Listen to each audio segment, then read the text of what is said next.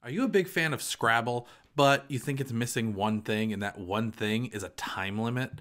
Well, if that's the case, then I have the perfect game for you because today we're going to be reviewing Double Bananagrams. Bananagrams is a super fun and simple game where you're just trying to get rid of all of your tiles that get dealt out to you in the beginning of the game. Where do they come from? Well, the bunch, of course. The game starts out with 288 tiles in the bunch and a number of tiles based on the number of players ranging between 11 and 21 is dealt out to each player. They're dealt out face down just like the tiles in the bunch and as soon as somebody says peel anybody at all the players have to race to turn over their tiles. Right here I only have four but that's what I'm going to use to demonstrate just to show you guys kind of the idea. What do you do with these tiles once they're flipped over? You have to start making your word grid. Here we're only going to make one word, but say you make a word and you use up your last tile. What do you have to do from there? You have to shout peel, and everybody has to reach in and grab another tile from the bunch. And you have to figure out how to use it now that you have that new letter. So I got a C with my next letter. I wonder what I'm going to do. Words can only be read vertically from top to bottom or horizontally from left to right. But you can rearrange the letters once they're on the board. So say you have this C. I don't know how to work this in because it doesn't kind of fit in there. There's no way I can use those letters, at least that I can think of off the top of my head. You can always put this back in the pile, and if you do that, you have to shout dump. By shouting dump, you put that one back, and you can you have to draw three tiles. So here we got letters. Here we got. What's this? How does this work? Ooh, wait. I, isn't this a? This is a thing right here. So now we got moat. Moat, like a mote of dust. I think that's a word. But now we used our last tile again. So you have to say peel. And all the players have to go grab another item here. Another tile. So what you're going to keep going through is the same process over and over again. You're going to be expanding your word grid, rearranging, moving it around, and making those words. It always has to make sense, no matter how you rearrange it. Shouting peel, and all of the other players are going to have to keep taking tiles. Once you get down to less tiles in the peel than there are players, and you've used your last tile, that means you have started the victory condition. Just shout bananas, and all the other players will look through your word grid, making sure that it follows the rules for the words you're allowed to use in the game.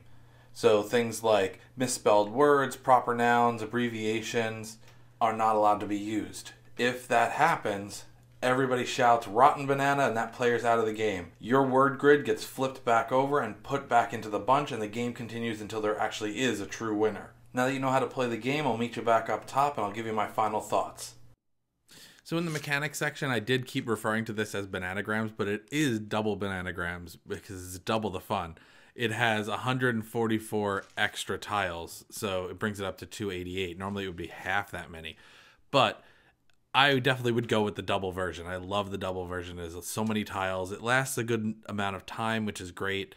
And it's just a fun game. You can play it with all ages, people who are wordsmiths and not wordsmiths, people who are fans of Scrabble and not fans of Scrabble. I like the fact that it's more in the moment competitive than Scrabble because you know Scrabble you lay down a a word and you gotta wait for somebody else to lay down a word, but in this you're like there's a ticking clock and you're kind of trying to beat everybody else, which is really cool. You have to remember the things you have to say.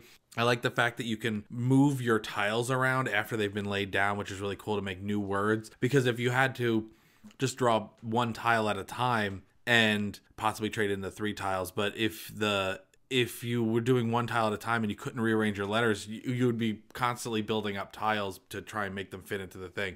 The fact that you can move everything around is really nice. It it's a hectic game, but it's really fun. And you're like, oh, I just need one more letter, or oh, is that actually a word? Is that how you spell it? Like, there's just a lot to it that makes it really high energy and fun. And we've had several occasions where that first person that shouts that they're done, and you check it over, and there's something that's either a proper noun or it's misspelled or something like that. That's a lot of fun because then everybody's like, ah, you're out, and then they got to scramble to put everything gets back in. You got to keep the game going. I, I absolutely love that because as soon as somebody shouts that they're done, it's not like it's automatic. We've had a fair amount of times where that person's made a mistake and something's misspelled or something is a word that's not acceptable or it's not a word at all. That's that's funny when they make a word and it's like, oh, that's a word. It's a, no, it's not actually a word. Let's look it up. but it, it's a fun game like that. The tiles are nice quality. I like the fact that instead of a box, it has this like banana package thing and here you can hear the sound of the banana package. I like the banana package. It it's not the most shelf conducive package because it's not like square or anything like that. But if you have a bunch of games and there's a little open space, this will kind of fit into that little open space between games that are different sizes. And you know, there there's something that can be said about that. I definitely would recommend this game. It's kind of like a it's like a 4.5 out of 5 for me. I don't usually do uh, a lot of those scores anymore, but definitely go pick up some double bananagrams. You'll definitely love it. If you like what you've seen here on the channel today, subscribe to the channel so you can catch everything that's coming out in the future. We're going to have a ton of gaming reviews going forward and a ton of other content. Hit that like button. Make sure that it's blue. We love to see it blue. Leave a comment down below. Are you a big Scrabble fan? Do you have double bananagrams? Do you have anything else that's similar to this? There's, there's other word games out there hit that notification bell so you know what's up, and I'll catch you in the next one, guys.